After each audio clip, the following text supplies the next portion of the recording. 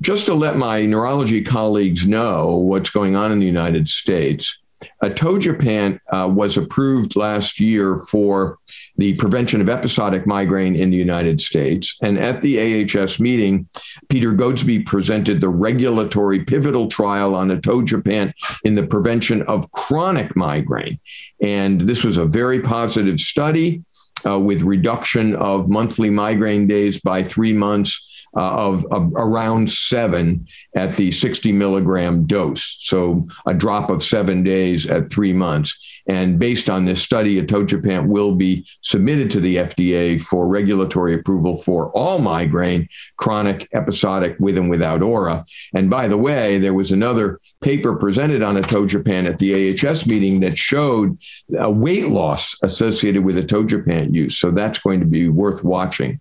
Another paper that was presented uh, by Kate Mullin was of the regulatory trial of nasal zavegepant as an acute treatment for migraine. And this was a very large study, uh, 1,269 patients. Two hour pain free numbers were about 24% for the zavegepant. And based on that study, zavegepant will be submitted to the FDA for acute treatment of migraine. And when approved, it will be the third gepant that we have approved by the FDA for acute treatment of migraine in the US.